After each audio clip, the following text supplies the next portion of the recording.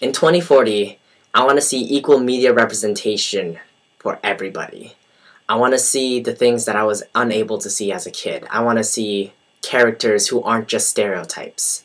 I want to see guys who look like me who are the hero, who get the girl, who are the girl.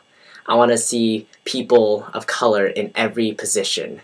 In the position of the boss, in the position of the hero, the villain, the brain, everything. I want to see us in films, in movies, in comic books. I want to see the superheroes who look just like me. And I know we will see this because our generation is slowly making steps towards that. We are becoming the superheroes we never had.